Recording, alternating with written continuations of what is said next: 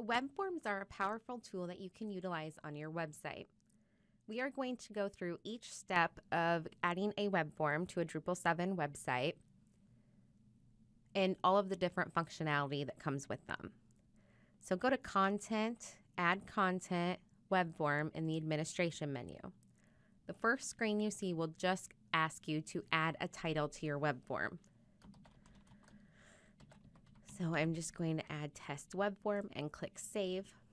This takes you to the form component screen. This is where you add all of the components of your web form. So we are going to make a simple contact us form as an example. So I'm going to put first and last name because we want to know who's contacting us. And we will leave it as a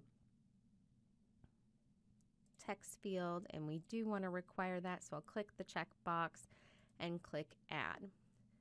The next screen that comes up is a settings page for the form component that I just added. So there's lots of different things that you can do here. Most of the time you're probably going to leave everything as the default, but you can really customize things using this screen. So we have a default value option. If you want the first and last name to be a specific thing. We want it to show up as an actual name. I'm not sure why you would do this, but there are lots of fields where you would actually want this to happen. So I've entered my name. If you want to make sure that people understand what you're looking for, you can add a description.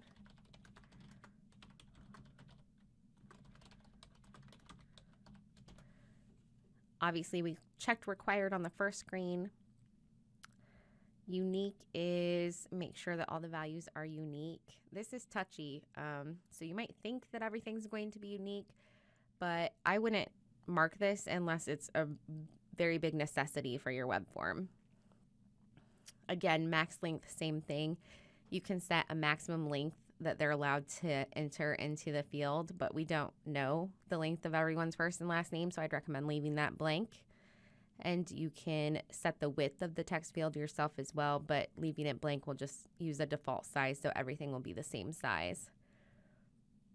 And you can use a placeholder value if you would like. You can pre-text or postfix stuff to the text. You can choose to put the description above the field. Lots of different options. We're going to go ahead and save component I put all of those extras on this particular one so that you could see what it looks like. The rest of them we're going to do how I would normally recommend doing them. So we're going to enter a phone number field. And I'm going to go ahead and leave it as a text field. If you'll notice, there is a number field. The only problem with the number field is literally the only thing that you can enter into the number field is numbers. So no dashes, no nothing. So it really confuses a lot of people and, and makes things a little difficult. I'm not going to require a phone number. I'm going to leave everything as the default and save component.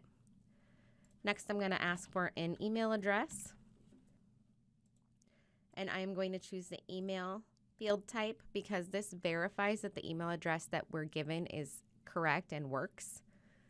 I'm going to require that and hit add because we want a way to contact them. And I'm going to leave everything as the default save component.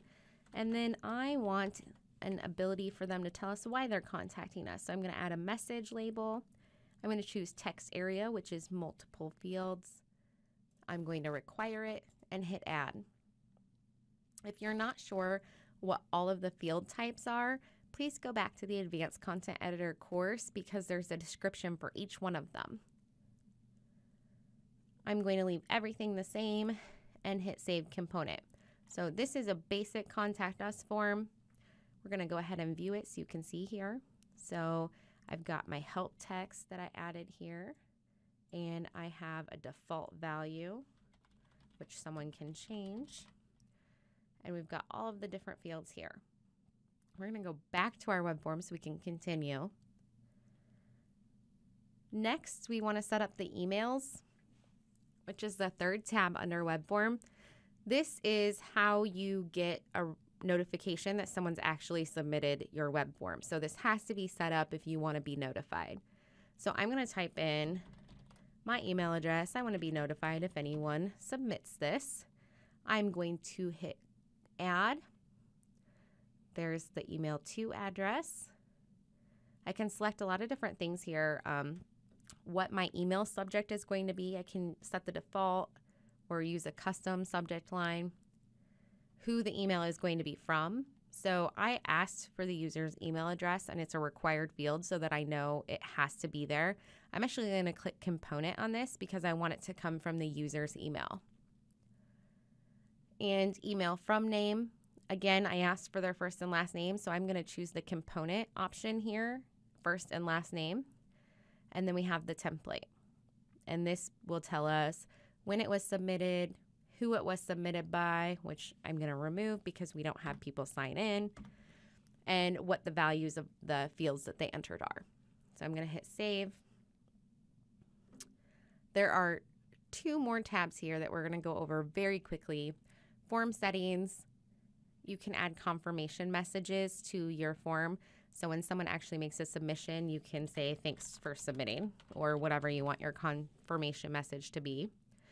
You can limit the total number of submissions that are allowed for the form period, and you can also limit the number of per user submissions. So if you don't have people logging into your account in order to fill out that form, this per user submission doesn't really work.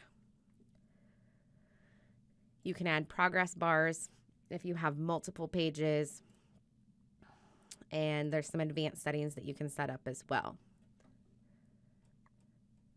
So we're going to go to the last one here, the conditionals form. This is a little more complicated, so I just want to go through it very quickly. Um, if I have a form component that I don't want to show unless the user has chosen a specific answer for a different form component. So let's say we ask, if our user is a veteran and they select yes or no. If they select no, we don't ask them any more questions about their service. If they select yes, maybe we want to know what part of the military they were in. So we would add another form component listing the different branches of the military. But we don't want that to show for everybody because everybody doesn't need to see that. So in that case, and I'm going to just use the test form that I have set up here to demonstrate. If I have